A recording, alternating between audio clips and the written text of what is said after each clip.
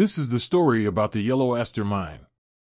It was in the late fall of 1894 that two prospectors, Frederick Moores and William Langdon, were out prospecting in the Rand Mountain Range in the Mojave when they came across some traces of gold.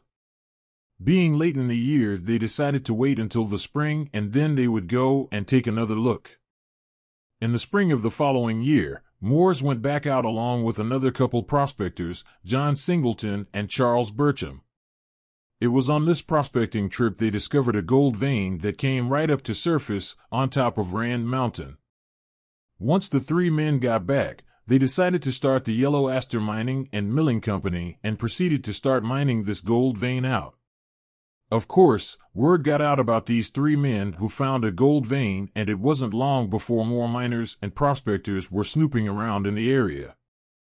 At the time, there was no real town here, so miners just lived in tents, but by the end of 1896, there was over 1,500 people living in the valley beside Rand Mountain.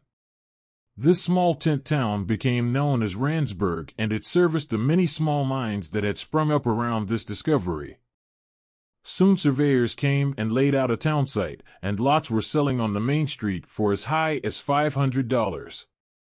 As the lots continued to advance in price, and with the influx of people, there were quite a few lot jumpers who tried to steal town lots. By 1899, the town had over 3,500 residents. During the year of 1897, over $600,000 worth of gold had been mined in this area, with most of that gold coming from the Yellow Aster mine.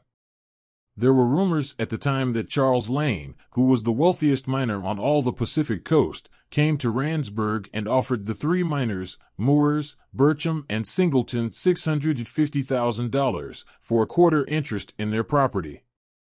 When mining first started, the gold ore was loaded on mule trains and shipped out to Garlock or Barstow, which was quite a ways. Then, in 1898, a 28 mile railway was built and ore was shipped out by train. This helped in processing the ore, but the cost of milling and transport added up, so in 1899, the company built a 30 stamp mill close to the mine. This stamp mill proved to be a moneymaker for the mine, so in 1901, the company built a new 100 stamp mill. By this time, the mine was producing over $120,000 worth of gold a month. That would be equivalent to about $4 million today. There was no water in Randsburg, so water was hauled in by wagon at a cost of one cent a gallon. The mine, of course, needed water for the milling, so water was drawn from wells, but these wells were over 300 feet deep. One of the mines in the Rand Mining District, owned by the Olympus Mining Company, sunk a well 100 feet deep and got a 2 inch flow, so it ended up piping water into Randsburg, a distance of 10 miles. In September 1902, there were about 200 men working the Yellow Aster mine and close to 1,000 miners working between the other mines in the Rand district. The miners voted to strike for higher wages, and all miners in all the mines walked off the jobs. The Yellow Aster mine did not want to give the muckers a raise from 250 a day to 3 bucks and decided to just close the mine. Other mines in the area closed as well. A few months later, the mine brought in non union miners and commenced mining again, but the mill was still shuttered. By October the following year, the mine and mill were running full capacity, and some of the old miners who were on strike started to return. The mine was now paying union wages, but without the union involved.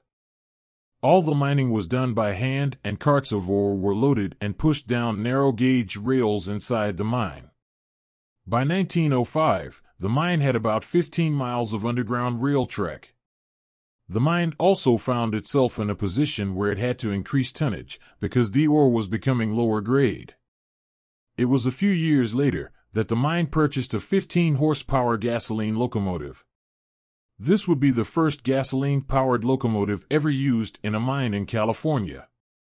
This small train could haul 30 tons at a time and travel up to 6 miles per hour and with a 100 stamp mill running, 580 to 600 tons of ore were being milled daily. Over time, the mine converted to electric and newer crushers and processing equipment was installed.